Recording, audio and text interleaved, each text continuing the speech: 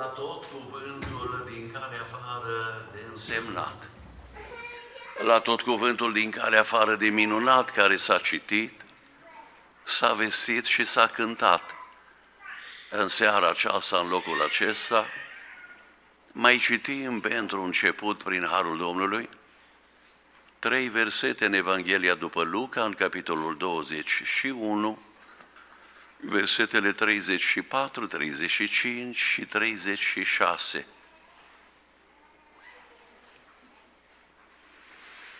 Unde Domnul Isus vorbind despre vremurile acestea speciale și serioase în care tocmai nouă ne este dat să trăim între altele, ne poruncește și spune așa, Luați seama la voi înșivă ca nu cumva să cădeți de oboseală în inimile voastre, cu îmbuibare de mâncare și băutură și cu îngrijorările vieții acesteia și astfel ziua aceea să vină fără veste asupra voastră. Căci ziua aceea va veni ca un laț peste toți cei ce locuiesc pe toată fața pământului. Și versetul 36, iarăși o poruncă minunată, vegheați dar în tot timpul și rugați-vă ca să aveți putere să scăpați de toate aceste lucruri care se vor întâmpla și să stați în picioare înaintea Fiului Omului. Amin. Să luăm loc și să ascultăm cu minte cuvântul Domnului. Spuneam prin Harul Domnului și în slujba dimineții, Biserica Logos, noi trăim într-o vreme în care omul nelegiuit dansează de bucurie pentru că i-a venit vreme. Iar cel neprihănit se măgnește mereu și mereu în Duhul lui. Omul nelegiuit trebuie să atingă un vârf al nelegiuirilor. Și când va atinge vârful nelegiuirilor, atunci va veni Domnul și va face dreptate pe pământ, atunci va veni Domnul și va face dreptate aleșilor săi și așa cum spune Apocalipsa, capitolul 11, va veni și va prăpădi pe cei care prăpădesc pământul. Dumnezeu știind că vom trece prin fel și fel de încercări în viață, și știind că vom avea și momente de descurajare, de deprimare, de disperare, de depresie, ne lasă un alt cuvânt foarte important și o altă poruncă foarte importantă în Evrei, capitolul 12, versetele 12 și 13, unde spune așa, Întăriți-vă mâinile obosite și genunchii slăbănociți. Croiți cărări drepte cu picioarele voastre, ca cel ce șchiopătează să nu se abată din cale, ci mai degrabă să fie vindecat. Călătoresc și eu prin durarea Domnului de zeci de ani, din loc în loc, biserică, de un fel sau de un altul, la sat, la oraș, în România sau în afara României, și am luat seama tot mai mult, de la an la an, și am luat seama tot mai mult de la o zi la alta, cum și în adunările noastre nu doar cei din lume care nu cunosc pe Domnul și nu cunosc tăria puterii Lui, cad de oboseală și tineri și maturi, și în mințile lor, și în inimile lor, și în duhurile, și în sufletele, și în trupurile lor.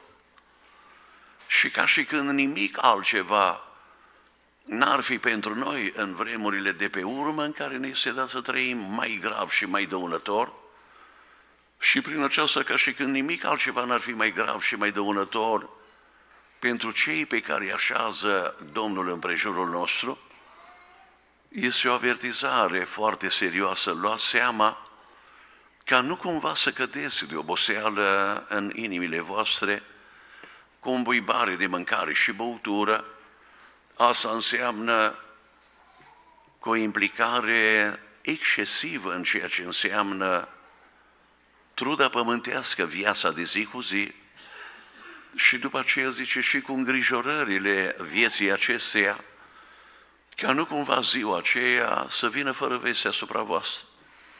ziua aceea este o epocă istorică și ziua aceea, fără îndoială, este și va fi și ziua aceea mare și înfricoșată. Și ziua aceea se întâmplă de zeci de ani.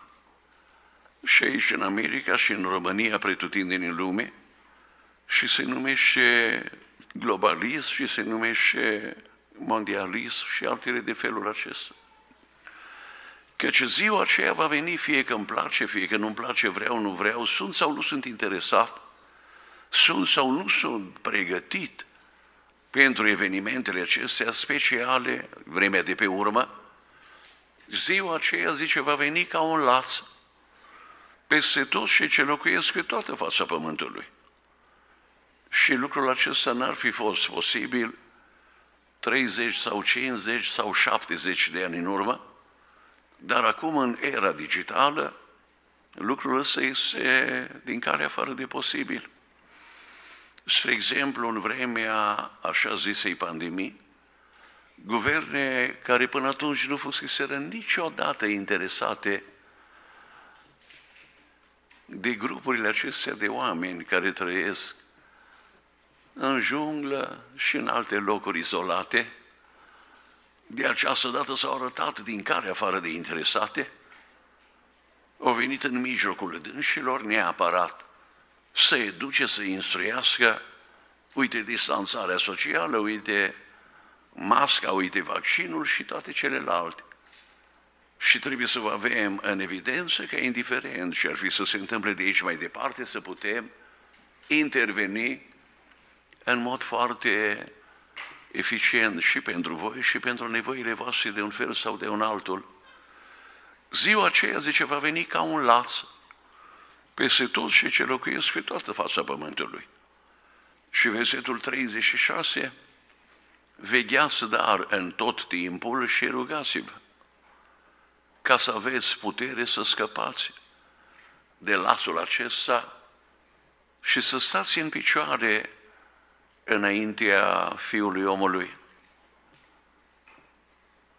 Și în 1 Corinteni, capitolul al patrulea, versetele 16, 17 și 18, ultimele trei versete din capitolul acesta foarte important, Duhul Sfânt, prin fratele nostru, prin Apostolul Pavel, ne spune care este programul de viață pentru copiii Domnului pe care Dumnezeu din veșnicie l-a hotărât pentru noi, copiii Lui de-a lungul miilor de ani, și mai cu seamă mai spun o dată și încă o dată și încă o dată și încă o dată. Pentru noi, cei care nu la voi întâmplări, trăim vremurile acestea serioase și speciale de pe urmă. Și zice așa, de aceea noi nu cădem de oboseală, și chiar dacă omul nostru de afară se trece, totuși omul nostru din lăuntru se înnoiește din zi în zi. Căci întristările noastre ușoare de o clipă lucrează pentru noi tot mai mult o greutate veșnică de slavă. Pentru că noi nu ne uităm la lucrurile care se văd, ci la cele ce nu se văd. Căci lucrurile care se văd sunt trecătoare, pe când lucrurile care nu se văd sunt veșnice, slăvit să fie Domn. Și în Coloseni, capitolul al treilea, începând cel din tăi verset, dacă deci ați înviat împreună cu Hristos, se vorbește despre o înviere la fel de importantă ca învierea Domnului, înviere care nu poate fi niciodată înviere autentică, dacă nu este precedată de o răstignire și neapărat și de o îngropare Iarăși Biblia ne avertizează și zice, dacă ne-am făcut una cu El printr-o moarte asemănătoare cu a Lui, vom fi una cu El și printr-o înviere asemănătoare cu a Lui, o înviere spre slavă, spre bucurie și răsplătire veșnică, nu spre o cară și nu spre durere veșnică. Și zice, dacă ați înviat împreună cu Hristos să umblați după lucrurile de sus, unde Hristos șade la dreapta lui Dumnezeu. Gândiți-vă la lucrurile de sus și nu la cele de pe pământ, căci voi ați murit și viața voastră este ascunsă cu Hristos în Dumnezeu. Când se va arăta El viața voastră, atunci, zice, vă veți arăta și voi împreună cu El în slavă. Cuvântul inimă în Scriptura pe care am citit-o în Evanghelia după Luca, în capitolul 21, versetul 34, face trimitere la creierul mic. Creierul mic are formă de inimă.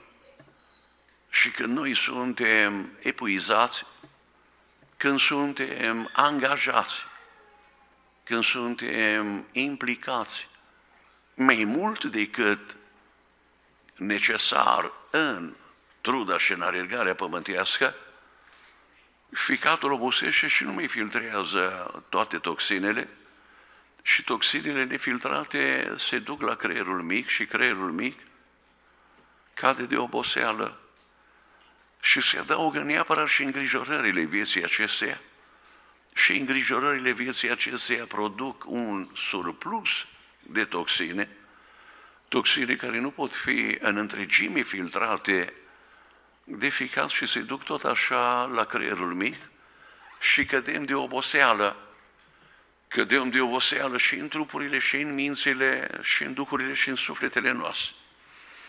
Și când suntem căzuți de oboseală, nu mai suntem sensibili, nu mai suntem atenți, nu mai suntem la fel de receptivi la cuvântul Domnului și la ceea ce se întâmplă în prejurul nostru mai aproape sau mai departe și nu mai suntem interesați cum ar trebui să fim interesați de aceste lucruri care și-au însemnătatea lor veșnică.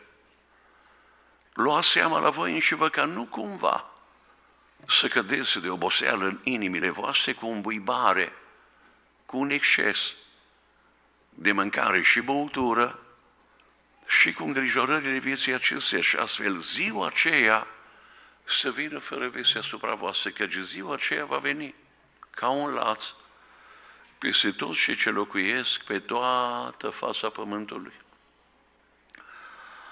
Biblia este cuvântul lui Dumnezeu și este descoperirea lui Dumnezeu cu privire la viața pământească și cu privire la viața veșnică. Și Biblia ne spune în chip lămurit și deslușit, cum s-a citit, și din cartea Eclesiastul neapărat, și din cartea Iosua, care sunt îndatoririle noastre înaintea lui Dumnezeu, care vin din partea lui Dumnezeu și unde găsim resursele necesare pentru a ne neplini. Datoria sau îndatoririle și față de Dumnezeu și față de noi înșine. Și neapărat și față de semenii noștri, începând cu cei din familie, că de acolo începe adevărata pocăință și de acolo începe adevărata mântuire. Și cartea aceasta minunată, Sfântă și Dumnezeiască Scriptură face o afirmație extraordinară. Și spune că suntem străini și călători pe pământul acesta.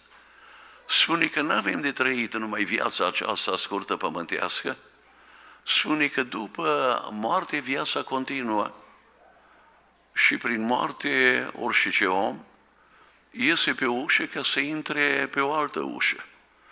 Numai că pe ușă scrie bucurie și răsplătire veșnică, iar pe cealaltă ușă scrie durere și amărăciune veșnică. Domnul Isus este judecătorul cel drept, El nu privește la înfățișarea omului, că privește la inima lui și ni se spune că la sfârșitul veacurilor va judeca vii și morții, venind pe norii cerurilor în putere, în mărire și în slavă, și vă spune numai unul din două cuvinte posibile în dreptul fiecărui om și în dreptul fiecăruia dintre noi. Și de cuvântul acela va depinde locul în care ne vom petrece veșnicia. Va spune fie vino, fie dute. Și de cuvântul acela va depinde locul în care ne vom petrece veșnicia. Și în Scriptura pe care am citit-o, spune că suntem doi și nu unul. Omul din afară care se trece, indiferent ce-i faci sau ce-i nu-i faci, și omul din lăuntru, care supraviețuiește tuturor transformărilor din trup și trăiește veșnic. Dacă ar fi să vă întreb, care din cei doi este mai important? Mă gândesc că toți ați răspunde, păi dacă cel din lăuntru trăiește veșnic, cu siguranță că el este cel mai important și este adevăr din ceea ce spunem cu gura, numai în măsura în care trăim ceea ce spunem cu gura că este adevăr. Numai în măsura în care îi dăm omului din lăuntru întâietatea sau importanța excepțională care îi se cuvine. Omul din afară și omul din lăuntru. De aceea noi nu cădem de oboseală. Și chiar dacă omul nostru de afară se trece, totuși, omul nostru din lăuntru se înnoiește nu la Paști, ci la Crăciun, nu din duminică în duminică, spune ceva cu mult mai important, nici măcar în fiecare zi zice din zi în zi. Din treaptă în treaptă, din putere în putere și din slavă în slavă. Și când omul din lăuntru se înnoiește din zi în zi, orice ce presiune ar veni asupra noastră, prin orice ce încercare ne-ar fi dat să trecem, nu cădem de oboseală, și rămânem prin durarea Domnului statornici pe cale aproape de Domnul, în darul binecuvântat numit credința, dată odată pentru totdeauna Sfinților. Când cădem de oboseală, datorită presiunilor la care ne supunem sau la care ne supune lumea, păcatul, sunt împrejurări de un fel sau de un altul, diavolul ne scoate din planul lui Dumnezeu, ne trage de lângă Dumnezeu și încet, încet, până într-acolo încât ne desparte de Dumnezeu și de planul însemnat pe care îl are Dumnezeu cu privire la viața noastră. Sunim și de dimineață și la adunare și după aceea la un timp de părtășie în casa fratelui Corneliu. Niciodată Dumnezeu n-a binecuvântat și niciodată Dumnezeu nu va binecuvânta apatia spirituală sau nepăsarea.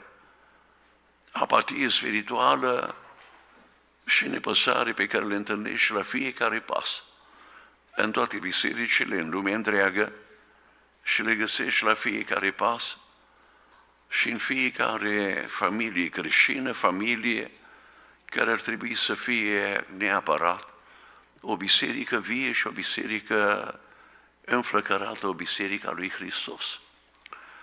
Și spune versetul următor, de ce nu cădem noi de oboseală? Căci întrisările noastre ușoare de o clipă lucrează pentru noi.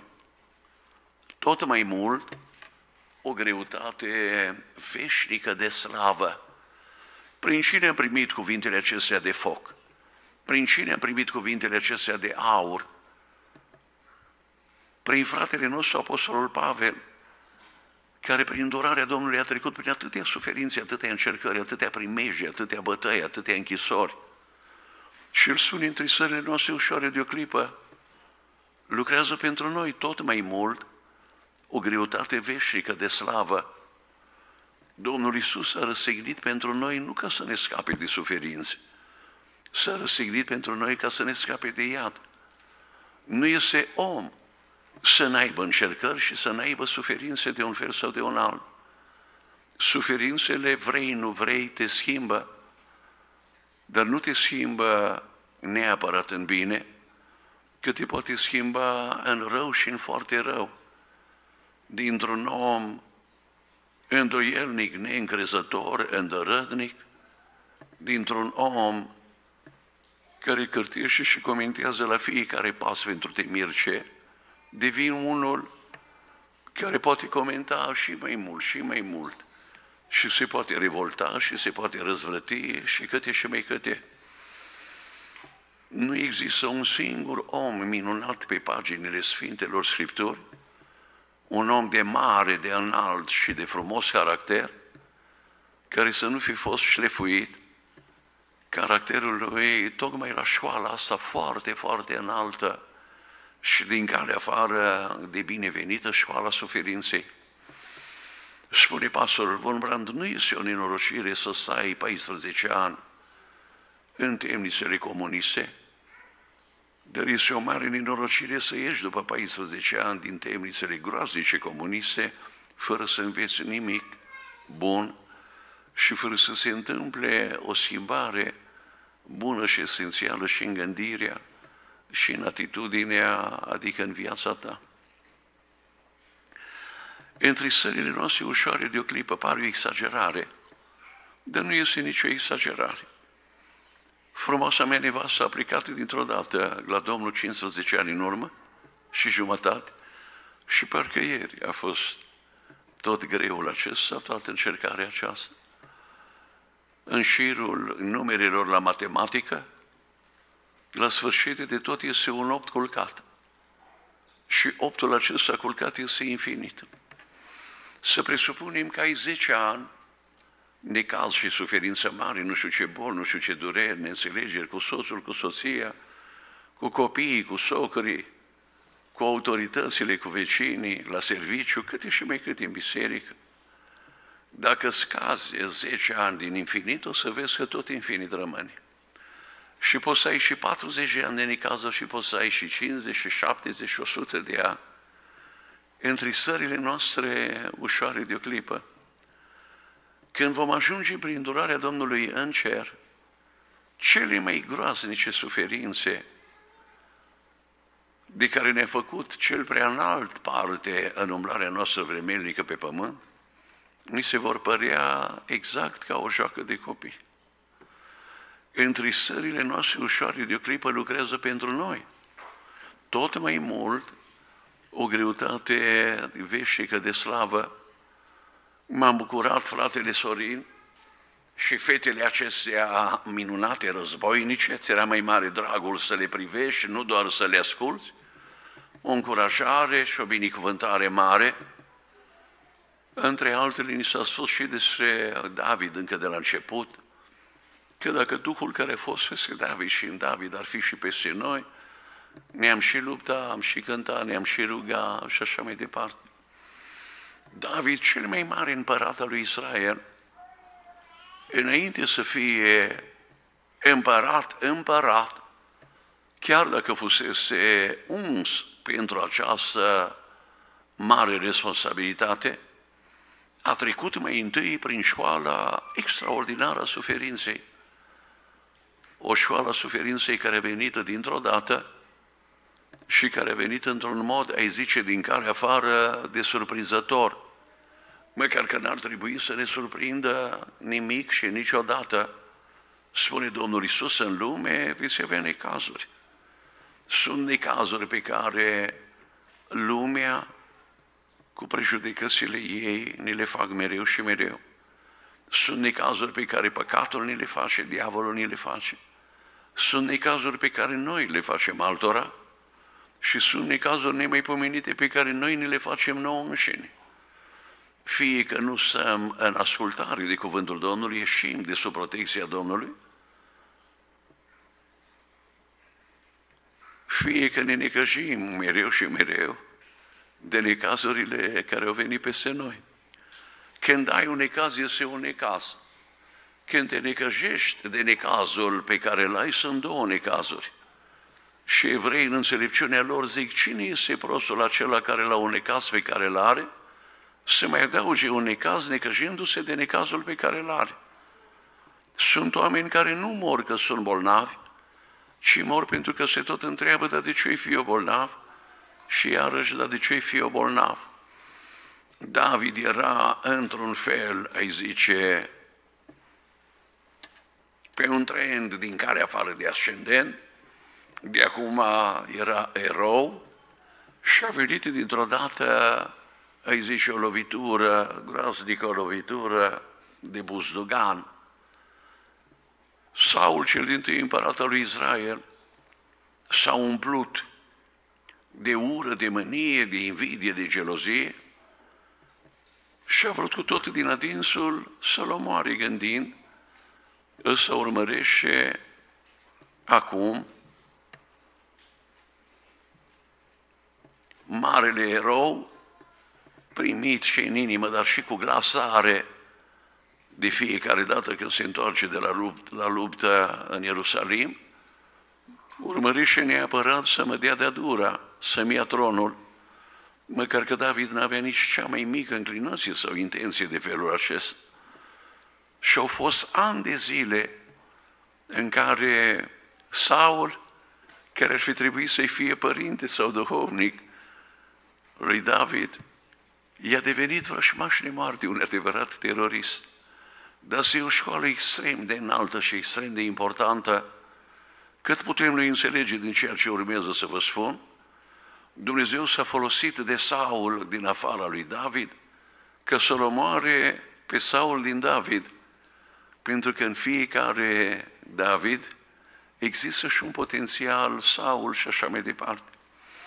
Și acum a venit și ziua în care Dumnezeu a hotărât ce a hotărât cu privire la Saul și David, care era copt bine pentru împărăție, cine suferă mult dezvoltă o gândire profundă și o gândire superioară. A primit vestea morții lui Saul și n-a avut nici cea mai mică satisfacție. N-a zis nici măcar bine că m-a scăpat Dumnezeu de nebunul acesta pe mine și bine că a scăpat poporul de așa un împărat nechipzuit, făcuse atâtea războaie, ne la locul lor au fost atâția care au murit în războaiele acestea și au rămas văduve și au rămas mame, fără copii uciși pe câmpul de lupt. Spune că a plâns și a postit până seara târziu, la aflarea veștii morții lui Saul și a fiilor lui.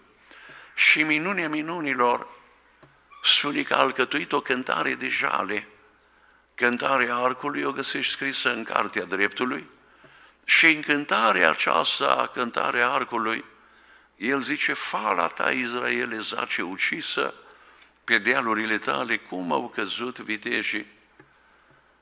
Luați seama la voi înșivă că nu cumva să cădeți de oboseală în inimile voastre și zice, noi nu cădem de oboseală, căci întrisările noastre ușoare de o clipă lucrează pentru noi tot mai mult o greutate veșnică de slavă.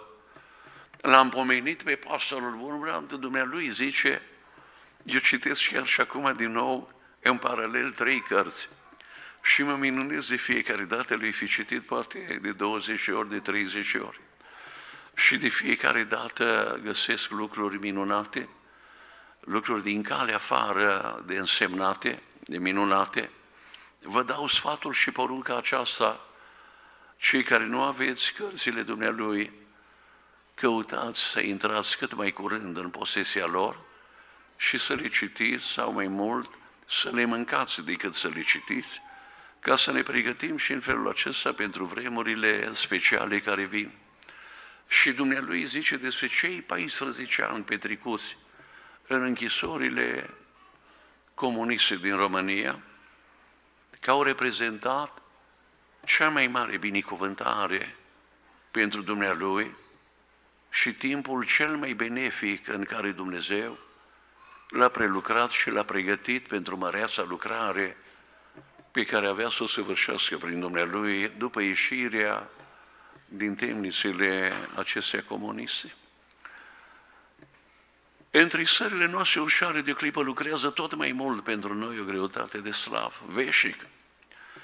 Avem mare har în seara aceasta să fim aici în adunare, dar ar fi exact o pierdere de vreme și ar fi ceva ce ar striga împotriva noastră în ziua judecății dacă am pleca de aici, din casa Domnului și din prezența Domnului, la fel cum am venit.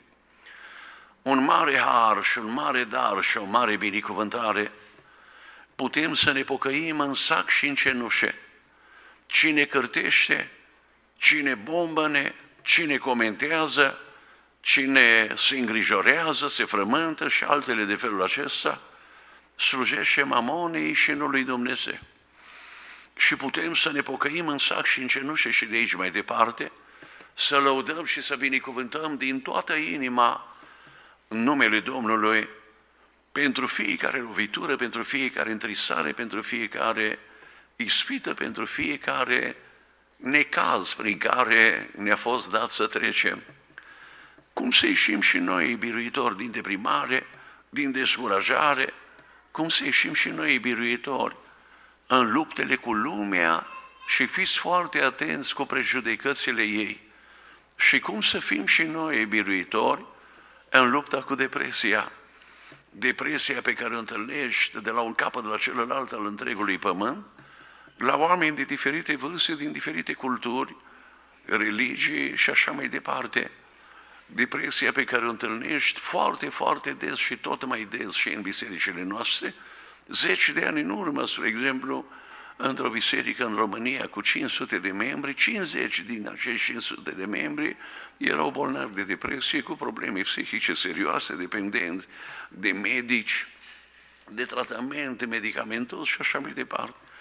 Și este un lucru încă mai grav, sunt oameni în biserici bolnavi de depresie, dar care nu recunosc că sunt bolnavi de depresie și unul bolnav de depresie nu este doar unul bolnav de depresie, că îi îmbolnăvește după aceea pe toți în prejurul lui. Cum să fim și noi biruitori în luptele cu toate aceste lucruri? Spune că într-o țară comunistă, un frate a fost condamnat la închisoare pe viață pentru credința lui.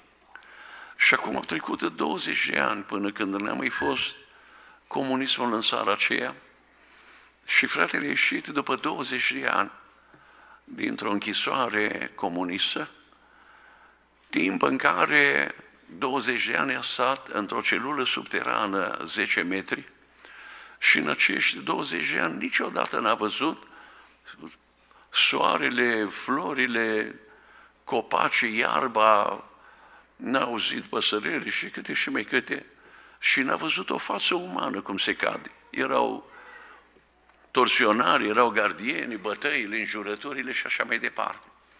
Și a ieșit plin de bucurie, plin de pace și cu credința din care afară de întărit. Și Dumnealui a dat mărturie și a spus așa, eu mă rugam mereu Domnului și spuneam, Doamne, aș vrea să mă rog mai mult și aș vrea să mă rog mai bine, dar uite că n-am timp. Și a venit vremea și Domnul a zis, nu-i nimic, am să te duc eu într-un loc unde să ai timp berichet pentru rugăciune și m-a pus în închisoare și acolo am avut timp berichet. Și nu doar că am avut timp berichet, dar m-am și rugat într-una și m-am rugat până m-am rugat. Și acolo Dumnezeu venea mereu și mereu să stea la sfat cu mine și mi s-a descoperit într-un chip cu totul și cu totul nou, într-un chip în care nu l-aș fi cunoscut dacă aș fi rămas. În afara închisorii, în viața de zi cu zi, și acolo am experimentat pentru prima oară ce spune Domnul Isus despre bucuria de plină. De spune ucenicilor să aveți și voi bucuria mea de plină. Și spune fratele acesta, Domnul Isus mergea din loc în loc și vesea Evanghelia peste tot și făcea semne și făcea minuni, vindica oameni, elibera oameni. Și acum epuizat seara, se retrăgea într-un loc pustiu la rugăciune cu Tatăl și primea din Tatăl și puteri și primea din Tatăl bucurii și binecuvântări mari. Și eu, zice, am experimentat, fiind deoparte cu Dumnezeu Tatăl și cu Dumnezeu Fiul și cu Domnul Duhul Sfânt, ce înseamnă să n-ai pe nimeni și să n-ai nimic, ci să-L ai pe El în totul totului tot și El să te aibă pe tine. Și știu despre altcineva, doi frați, care au fost și ei puși în închisoare și condamnați la moarte pentru credința lor într-o altă închisoare și înainte să execute, au pus într-o celulă groasnică vreme de trei luni, sperând că ei se vor lepăda de Domnul, de credință, și mai mult decât atât că vor huli în numele Domnului. Și frații au rămas satornici Domnului în acele trei luni de infern și când au ieșit din celula aceea groasnică, un gardian care s-a pocăit văzând cele întâmplate, el a dat mărturie și zice, fețele lor străluceau. Și avea o strălucire care nu era de pe pământ, o strălucire care venea dintr-o altă lume, din cer, și ei plini de bucurie, mergând spre zidul unde urmau să fie executați, să fie împușcați. plini de bucurie, ziceau, acum ne ducem acasă la Domnul, acum ne ducem la casa Domnului. Și cel din tâi și dânsii au găsit în Domnul Isus puterea de a birui depresia, deprimarea, descurajarea, disperarea și altele și altele de felul acesta. Și despre o soră într-o altă țară comunistă, Albania de data aceasta, a trimis o scrisoare în secret fraților din Occident. Și în scrisoarea aceasta, femeia aceasta credincioasă minunată zice, băiatul meu de 21 de ani a fost arestat pentru credința lui în Domnul Isus, a fost judecat și a fost condamnat la 10 ani de temniță grea. Și am avut o durere mare în inimă, am fost și eu la proces și inima mea a fost răpunsă de sabie, după cum și inima Mariei, Maica Domnului, a fost răpunsă de sabie văzându-și fiul răsignit. Și după ce a fost el judecat, ei, judecătorii, au insistat pe lângă mine să-l conving să renunțe la convingerile lui religioase, să se lepede de credința lui și de Hristosul lui, promițând în schimb că îl lasă liber să meargă acasă. Și vă puteți să dați seama ce lovitură mare a fost pentru mine, mama lui și în același timp credincioasă Domnului. Și am spus băiatului pentru nimic în lume să nu le lepezi de Domnul, de binefăcătorul, de Mântuitorul nostru, indiferent cât va fi să suferi tu și cât va fi să sufăr și eu ca mamă. Și mai adaugă sora aceasta minunată, zice, a venit o încercare încă mai mare. Cei din neamul nostru, care nu erau pe care credinței, ne-au reproșat mie și sosului că datorită educației religioase pe care am dat-o noi băiatului nostru, este el în locul acela de mare suferință. Dar a venit o încercare și a venit o lovitură și mai puternică decât asta, când frați și surori din biserică ne-au reproșat spunând, dar de ce a trebuit el să-l mărturisească pe Domnul în gura mare, nu putea să tacă? Și spune sora aceasta greu încercată, i-am înțeles pe oamenii aceștia și l-am înțeles și mai bine pe Domnul Isus. Cum nici el nu era întotdeauna înțeles, că vorbim de cei din familie, că vorbim de ucenicii lui. Știți cum într-o împrejurare un ucenic, pentru care suntem din care afară de recunoscători Domnului, îi spune Domnului Isus, l-a luat deoparte și a început să-l mustre zicând să te ferească Dumnezeu, Doamne, să nu ți se întâmple așa ceva. Și mai spune sora aceasta minunată, îmi este îngăduit din când în când să-l văd pe băiat la închisoare și de câte ori vine la vorbitor, niciodată, niciodată nu este descurajat, nu este deprimat, ci din potrivă este plin, plin, plin de bucurie și fața lui strălucește și zice, chiar dacă sunt într-un loc cu suferință grea, cu suferință mare, îi sunt din cale afară de recunoscător Domnului că mi s-a descoperit și mie, a pus și în mine darul acesta binecuvântat, care este adevărul cel veșnic și mai mult decât atât a făcut și din, din mine nu doar un copil al lui și un ucenic al lui. Și în aceste împrejurări foarte grele în care mă găsesc, am cea mai mare bucurie de câte ori pot să-L mărturisesc pe Domnul și Mântuitorul meu Iisus și altora care sunt împreună cu mine, fie în celulă, fie în închisoare. De unde și-au tras oamenii aceștia minunați și mama și băiatul puterea de a birui și depresia, și deprimarea, și descurajarea, și mai zic o dată, lumea și prejudecățile ei. Și n-am spus la voi întâmplării, vorba aceasta de mai multe ori în această după amiază sau seară în locul acesta, ci din potrivă, în mod intenționat și în mod intenționat și în mod intenționat.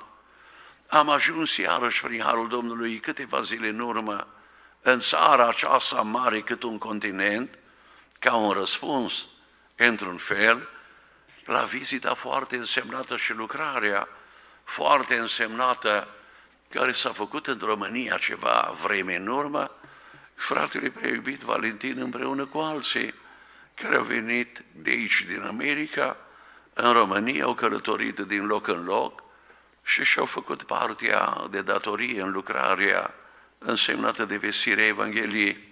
Și am ajuns în țara aceasta mare cât un continent, care are probleme mari și din care afară de mari, mai mari decât cele mai teribile probleme pe care le-ar avea lumea întreagă de la un capăt la celălalt.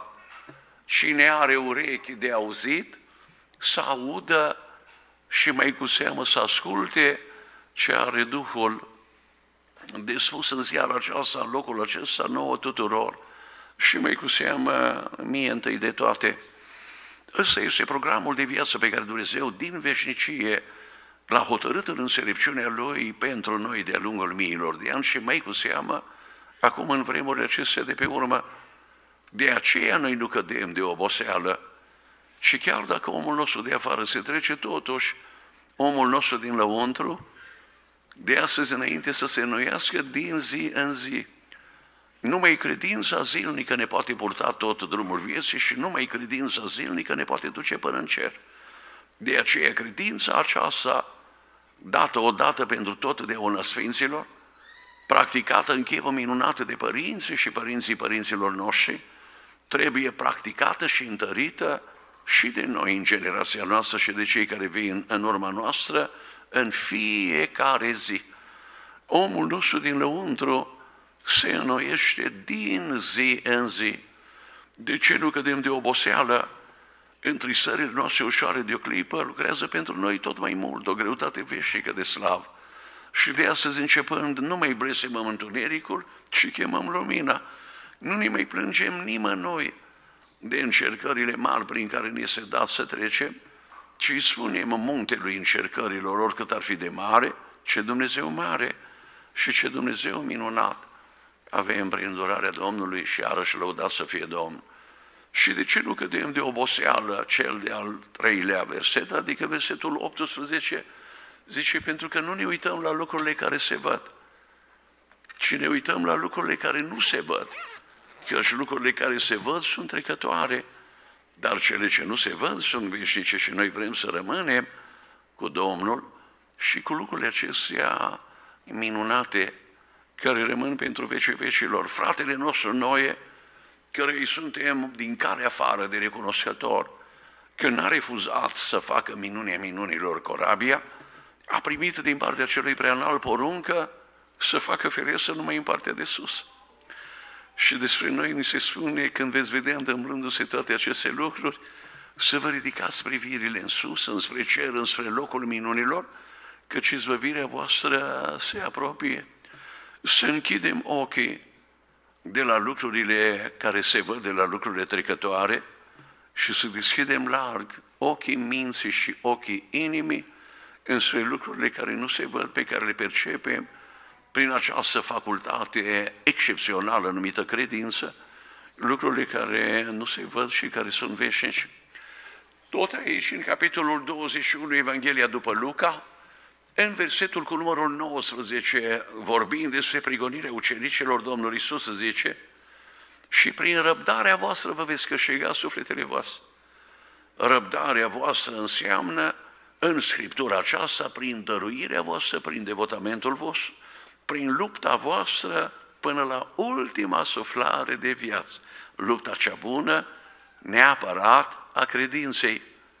Prin răbdarea voastră vă veți câștiga sufletele voastre. E foarte important să câștigăm sufletele celor pe care îi așează Dumnezeu lângă noi, dar este la fel de important să ne câștigăm propriile suflete. Când noi nu lucrăm cum se cuvine la sfințirea, omului din lăuntru la sfințirea sufletului, relațiile cu cei din jur prin omul din afară sunt relații greșite, păcătoase, sunt relații de manipulare, adică ne folosim unii de ceilalți. Dacă lucrăm în chip minunat la sfințirea omului lăuntric, relațiile cu cei din jur îl onorează pe Dumnezeu, vin cu dar de binecuvântare de la Dumnezeu și ne întăresc pe noi înșine pe drumul credinței, drumul înspre cananul ceresc. Mai citesc odată cuvântul acesta, după care eu mă opresc, a venit vremea, Duhul nu se oprește și vorbește mai departe celor cu urechi de auzit. Mă rog din toată inima Domnului Scriptura aceasta ce s-a vestit în această seară aici de la început și până acum, să nu fie în ziua judecății o sândire pentru nimeni, ci să fie pentru toți deopotrivă un dar ales de chemare și de binecuvântare veșnică, să nu fie mărturie împotriva nimănui. Luați seama la voi și vă ca nu cumva să cădeți de oboseală în inimile voastre cu îmbuibare de mâncare și băutură și cu îngrijorările vieții acesteia și astfel ziua aceea să vină fără veste asupra voastră căci ziua aceea va veni ca un laț peste toți cei ce locuiesc pe toată fața pământului. Și versetul 36 poruncă, vegheați dar în tot timpul și rugați-vă, ca să aveți putere să scăpați de toate aceste lucruri care se vor întâmpla și să stați în picioare înaintea Fiului omului. Credința biruitoare stă în putere și puterea credinței biruitoare vine din veghere, au spus unii tot timpul, și din rugăciune, și acum și în vecii vecilor. Amin.